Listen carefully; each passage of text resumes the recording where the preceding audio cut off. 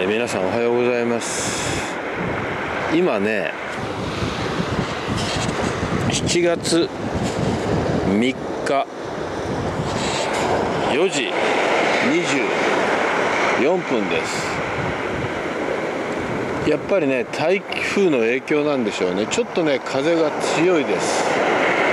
でもねあのこの景色本当皆さんにお見せしたいんですけれど何ていうのかな西の空もね真っ赤なんですよね。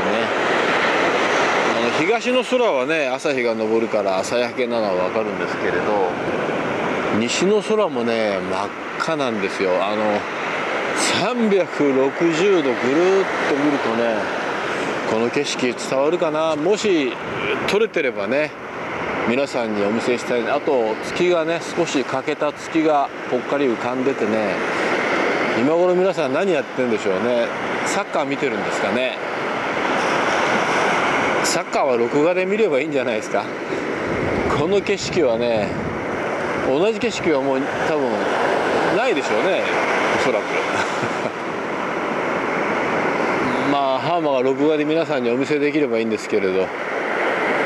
多分でも大部分の人はサッカー見てるんでしょうね。まあ価値観の違いだから。ハーマは全然サッカーどうでもよくてどうでもよくはないけどまあ後で結果ねやっぱ日本人だから日本を応援したいから後で結果見ますけれど。まああとやはり FIFA っていう組織がね、まあ、大人だったら分かると思うんですけれど。そんな綺麗な組織じゃないですからね。まあ選手たちはね一生懸命やってるんでしょうけれど。まあ大人の世界ですからね。まあ朝からあんまりそういうやぼったいことを言うのやめましょうか。えー、っとね今日の日の出がね4時半ですね。4時半。もうね、え日に日に朝日が昇ってくる時間が遅くなってますそして太陽はねどんどん、南の方に動いていきます。ということはねこれからちょっとずつ寒くなってくるんですよね。日が短くなって。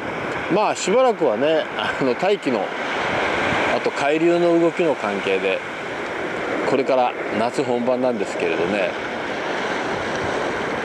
台風もねまたこれからいっぱい来るんでしょう。今朝はね何もまあぼーっとしてます。ただこの素晴らしい景色をねなんか皆さんとシェアしたいですよね、うん、だからまあ若い人もねご年配の人もぜひ早起きしてね海でもいいし山でもいいし朝日をねぜひそしてこの朝焼けをね見てほしいなと思います。あとやはりまあ一昨日ハンマーちょっとね。あれ？一昨日だっけ？今日が火曜日。昨日。先おとといか、まあ、足に怪我しちゃったんですけど今も実はあの今日ズボン履くの大変でしたしちょっと今歩くのが不自由なんですけど。でもね本当いろんな方にあのご心配いただいてありがとうございました。あのやはり今日もね感謝したいと思います。本当にね。天外孤独だと思っていたんですけれどこうやってね YouTube 上でいろんな方が心配してくださって本当ありがとうございました。もう一度ねお礼の言葉をね申し上げておきたいと思います。本当にありがとうございます。さあえっ、とねあともうちょっとでね朝日が昇ります。まあ朝日は多分取れると思いますんでこの後に貼っておきます。え今日ねお仕事の方お仕事の方もいらっしゃると思いますしお休みの方もねいらっしゃると思いますけれどえ皆さん良い一日をそしていってらっしゃい。あんまり涼しくないと思いますよ今日も。